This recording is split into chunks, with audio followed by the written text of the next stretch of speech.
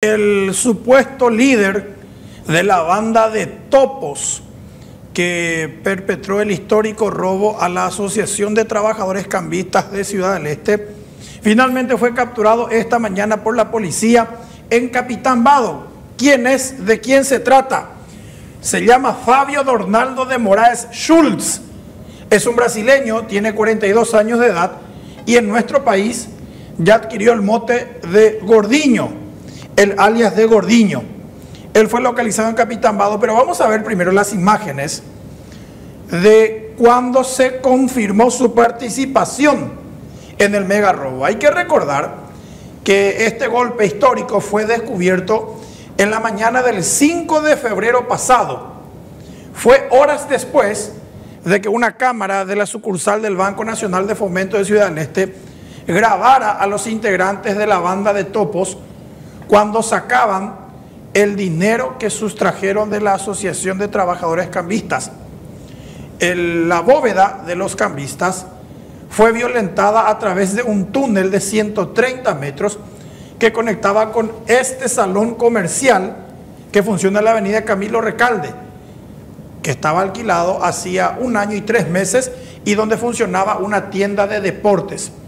Ahí vemos al brasileño y al paraguayo que fueron identificados inicialmente. Vemos cuando llegan aquel lunes a las 2 y 6 de la madrugada. Y el paraguayo ahora buscado saca la primera caja conteniendo dinero adentro. Una caja. Dos cajas. Ahí vemos cómo ellos van llevando las cajas que tenían dinero. Tres. Ese que carga las cajas es un paraguayo que tenía una camiseta de Olimpia un jean, un kepis y un zapato. Cuatro, cinco cajas ahora, un zapato deportivo, un campeón en realidad. Seis cajas. En el video estamos viendo el momento en el que alza las cajas, esta es la séptima, a un vehículo Toyota Sienta Blanco, que fue uno de los utilizados para llevar toda la plata que sacaron. Ocho cajas, nueve cajas ahora, ya eran las dos y ocho, diez cajas, Fabricio Jonathan, eh, Fabricio Jonathan Ayala se llama. ¿Cuánto ya? 10 cajas, 11 cajas y creo que saldría una más, la caja, 12 cajas en realidad sacaron. Ahí vemos al gordiño y al rubio, así los conocían porque ellos eran los que atendían la tienda de deportes que funcionaba con esa fachada, pero que en realidad adentro estaba la boca del túnel que se estaba acabando desde noviembre del año 2022, cuando fue alquilado este salón. En el siguiente video, después de las 12 cajas que cargaron a este Toyota Sienta, vamos a ver en el siguiente video la llegada al lugar de un furgón Citroën Jumpy.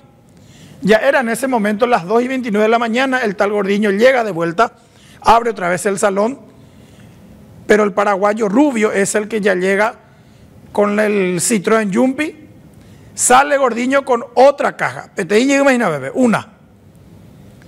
Todas esas cajas estaban llenas de plata. Dos. Tres cajas. Y van a empezar a salir también los topos que cavaron del túnel. Cuatro cajas. Eran las 12 y 37. Cinco cajas. Seis cajas, siete cajas, porque un topo carga una de las cajas. Ocho cajas, otro topo que estaban saliendo del túnel en ese momento se bañaron y luego salieron como si nada. Nueve cajas, diez cajas, está cargada por otro topo, otro topo sale de vuelta, once cajas porque también lleva lo que es una caja de herramientas aparentemente, pero que en realidad tenía plata. Todos los topos salían del túnel, se bañaban dentro del salón y como si nada se alejaban del lugar. 12 cajas, este ya lleva sus cosas y lo que es aparentemente parte del botín, otro topo de vuelta. Eran las 2 y 40 de aquel lunes. Y luego vemos a alias Gordiño despidiéndose de Rubio, el paraguayo, quien finalmente sale y se marcha con las cajas. La última parte del video vemos a otros topos cargando pesadas mochilas y bolsones en lo que se cree también era parte del botín que les correspondió luego de la excavación. Y la última imagen a Gordiño sacando una bolsa de basura que contenía la ropa sucia resultante de las excavaciones. Esto sucedió el lunes último en Ciudad del Este. Hoy el procedimiento se concentró en Capitán Vado, porque policías de la Oficina Regional del Departamento Antinarcóticos, que funciona justamente en Capitán Vado, fueron los que consiguieron la ubicación de Gordiño y Rubio, los dos primeros identificados en este histórico caso. Vemos nuestro mapa interactivo, Ciudad del Este en rojo, lado paraguayo, al otro lado Foz de Iguazú, Brasil. Y si nos acercamos al centro de Ciudad del Este, tomando como referencia la primera rotonda a 500 metros del puente, ahí queda la Asociación de Trabajadores Cambistas, en la plazoleta entre la ruta PY02 y la avenida Monseñor Bogarín. Pepe y con la robo, Pepe y con la mega robo. Ahora el lugar de la operación, al norte de Paraguay, en el municipio de Capitán Vado, señalado en azul. Al otro lado, Coronel Zapucaya, ya correspondiente a Brasil. La captura del brasileño se produjo en el barrio Chacoí, a cuatro kilómetros del centro de Capitán Vado, en un lugar, en una propiedad perteneciente a un ex intendente, Jorge Martínez se llama el ex intendente liberal de Capitán Vado, a 500 metros de la casa erigida en, ese, en esa propiedad del distrito de Capitamado. En este monte fue localizado el supuesto cabecilla del robo, el brasileño apodado Gordiño. Este es el lugar, repito, es una propiedad que pertenece a un ex intendente de Capitán Vado, Jorge Martínez, político liberal. Y el lugar era utilizado aparentemente como guarida de delincuentes. Esto lo dijo hoy el fiscal Leonardo Cáceres quien fue el que acompañó la operación del Departamento Antinarcóticos. El jefe de esta última unidad, el comisario Pablo Zelaya, quien eh, comandó la operación de búsqueda y localización de los sospechosos, dijo que llegaron al sitio en realidad buscando a Delio Martínez. Mate a la Delio Martínez. Es un supuesto sicario paraguayo, vadeño, de 24 años de edad, que es señalado como uno de los autores del atentado del 25 de septiembre del año pasado, en el que murió un suboficial del Departamento Antinarcótico de Capitamado, precisamente, Pablo Bonucci. Recuerden el caso de que supuestamente estaba reunido con un informante, se acercaron unos narcos y le dispararon. Esta es la publicación de ABC Color del 2 de octubre, cuando aún estaba con vida el suboficial inspector Pablo David Amarilla Bonucci. Bueno, el comisario Pablo Zelaya dijo que tenían la información de que en este lugar, en esta propiedad, estaba escondido uno de los asesinos de su compañero Bonucci. Pero también ya manejaban la información de que los asesinos de Bonucci podrían estar escondiendo en el lugar a dos, entre comillas, extraños, que podrían ser justamente participantes en el mega robo de Ciudad del Este. Y la operación finalmente se ejecutó esta mañana, poco antes de amanecer. Una dotación de antinarcóticos irrumpió en el lugar rodeó la guarida y finalmente perpetró el asalto al campamento. Dos personas fueron encontradas en el sitio o estaban en ese momento en el sitio. En el sitio. Delio Martínez, el objetivo inicial no fue localizado, pero cuando se inició la operación policial, uno de los que estaban en el campamento logró huir. ¿De quién se trata? Precisamente del paraguayo Fabricio el alias Rubio, el que era buscado también por el caso de Ciudad del Este. Pero en cambio, Gordiño, o qué, o qué petei amaca pejinara a o que jata no y la policía cuérabe para cuando despertó ya no tuvo tiempo de escapar, fue rodeado y reducido sin ningún disparo. El criminal brasileño estaba completamente desarmado, no tenía casi dinero consigo y después de ser arrestado pasó a relatar algunos detalles de cómo fue el operativo. Gordiño contó lo siguiente, atención, primero les cuento que Gordiño tiene 19 antecedentes penales en Brasil por delitos como amenaza, robo, robo de vehículos, tráfico de drogas e incluso homicidio.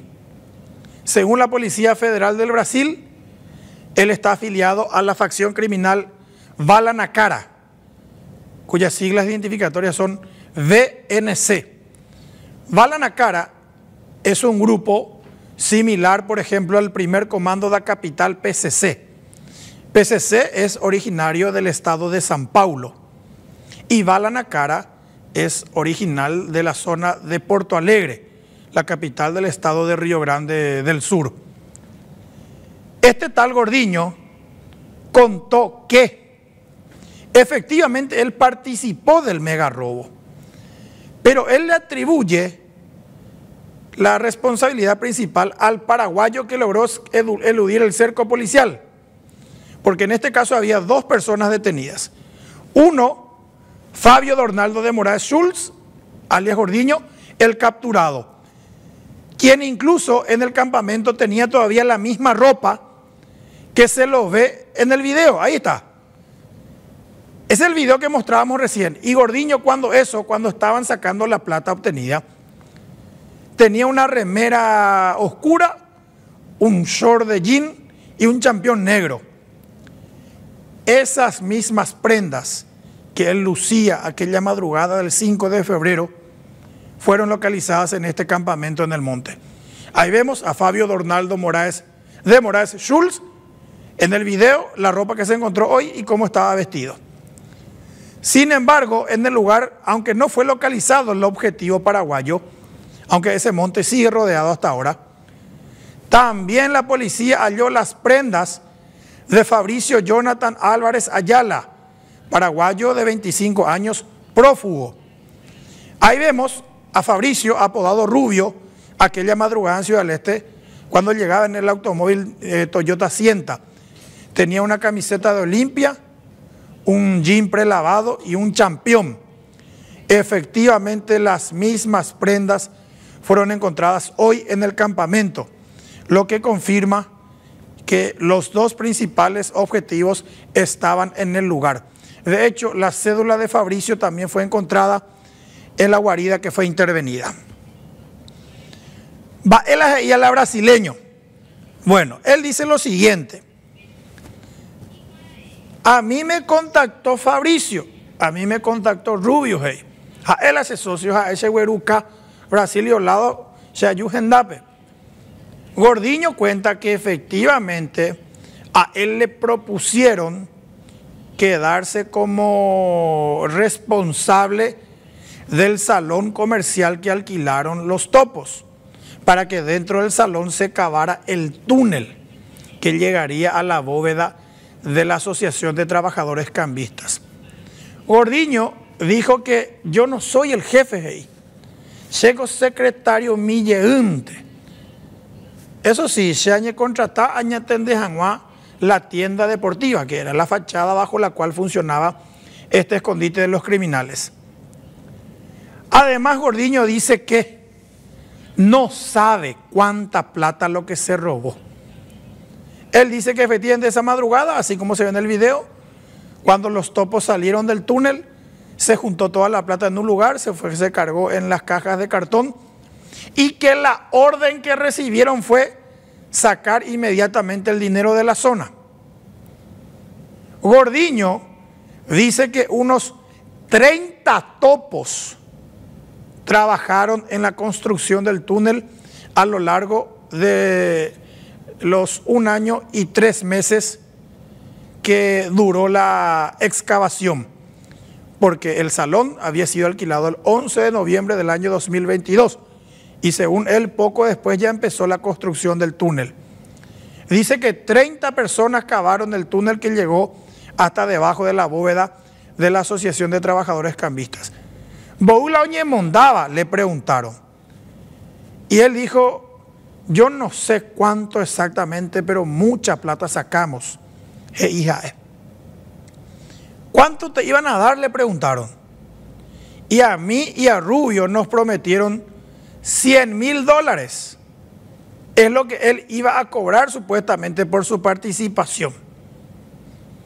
Pero de antemano luego ya, el trato con el que él llama el patrón era el siguiente. Hoy cota la robo, ya nos embariré la plata, la plata se va a llegar, se va a llevar a un lugar neutral todos vamos a desaparecer de Ciudad del Este, vamos a dejar que se enfríe la cosa y luego yo les voy a contactar a cada uno y les voy a citar en un punto neutral también para darles su parte del botín. Supuestamente peaje y chupé la patrón la contratada con chupé. Efectivamente, Gordiño dijo que para eso ellos escaparon de Ciudad del Este ni bien ocurrió el golpe. Y que ellos ya avisaron, ya tenían planeado que ni bien ocurría el golpe, ellos iban a salir de Ciudad del Este y iban a esperar el llamado. ¿Qué circuito hicieron? Según Gordiño, ellos entregaron en un punto toda la plata que robaron aquel 5 de febrero.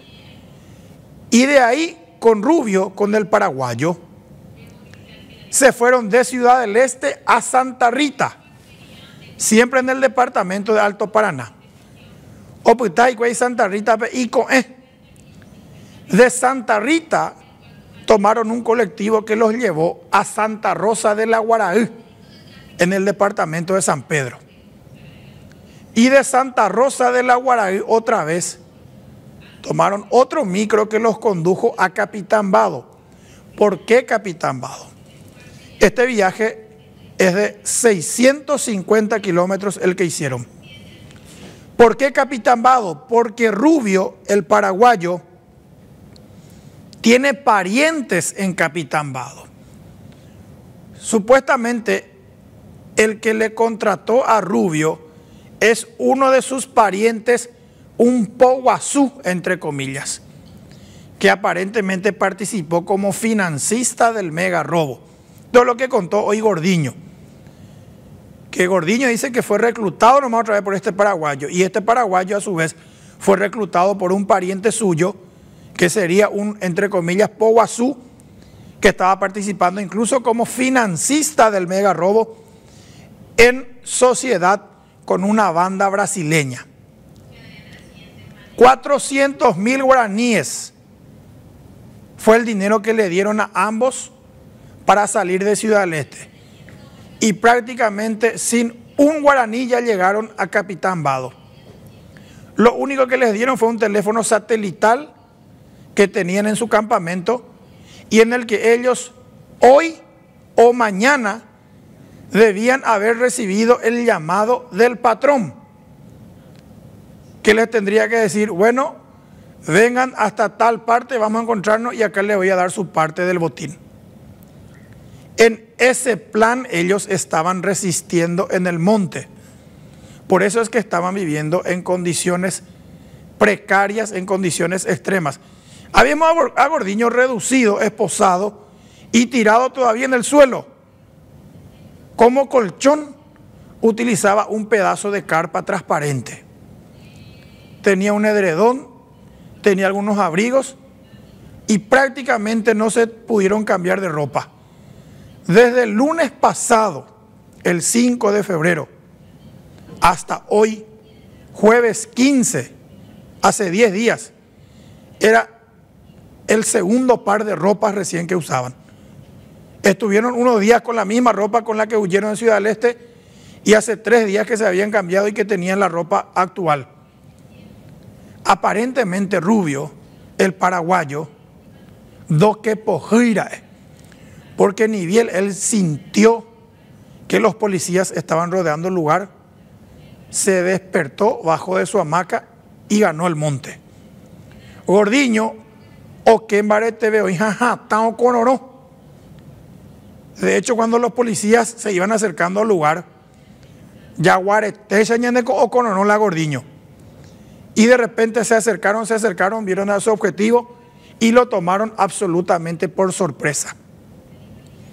El plan criminal del mega robo a los cambistas de Ciudad del Este, según el detenido, resultó perfecto.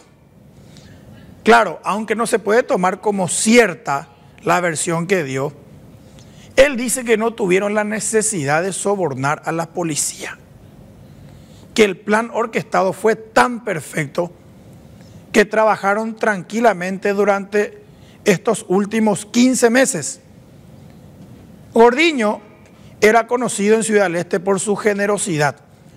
cómo él lograba pasar desapercibido y de hecho por eso luego le contrataron, porque él supuestamente tenía un muy buen trato con los clientes que llegaban a la tienda de deportes. Yo le contaba que un muchacho, un colegiante llegó y averiguó nomás precio de un juego completo de camisetas para su torneo de EXA. Y que el tal Goriño agarró le regaló luego el equipo completo, le regaló un juego así, algo así como de 12 camisetas. Él vendía camisetas de cerro, 80 reales. Cuando alguien compraba uno, le regalaba la siguiente casaca. Llegaba un olimpista, le pagaba los 60 reales por la casaca y le regalaba otro también otra camiseta. Así de generoso dice que era Gordiño y de ese modo él pasaba desapercibido. Solo que en este caso lo que lo condenó fue, el error que cometió fue que salió aquella madrugada con la bolsa de basura que contenía la ropa sucia de los topos. ¿Cuál fue su error?